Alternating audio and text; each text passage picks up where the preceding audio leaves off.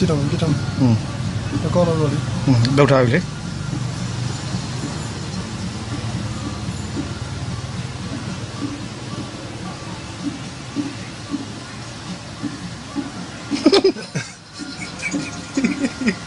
Hehehehe